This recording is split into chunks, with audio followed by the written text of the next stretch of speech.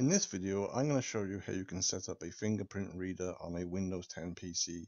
So if you recently bought a new laptop or notebook and it comes with a fingerprint reader, you can use this to sign in every time your computer starts or wakes up from hibernation and so on, instead of typing a password.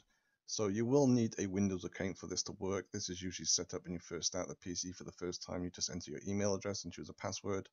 If you haven't, don't worry, as you can set this up in the next process. So what we need to do is click on the Windows icon in the bottom left hand corner. Then click on the little gear icon, which is settings. Then click on accounts from the menu. So once this opens up, if you haven't got a Windows account, just create one here, enter your email address and choose a password and just follow the instructions on the screen. If you already have one, then click on the sign in options from the left hand side. Once that loads, you should see on the list Windows Hello Fingerprint. So if your laptop or notebook has a fingerprint reader, it should be detected and displayed here. So click on that.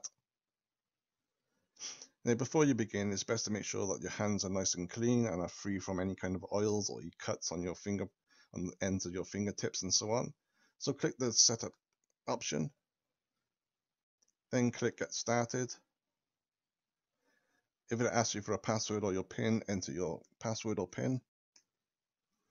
Now all you literally have to do is press your, your finger over the fingerprint reader several times, just press and lift, press and lift, and just follow the instructions on the screen. So I'm just pressing and lifting. Then it tells you to try a different angle, so just try your finger, the same finger from a slightly different angle.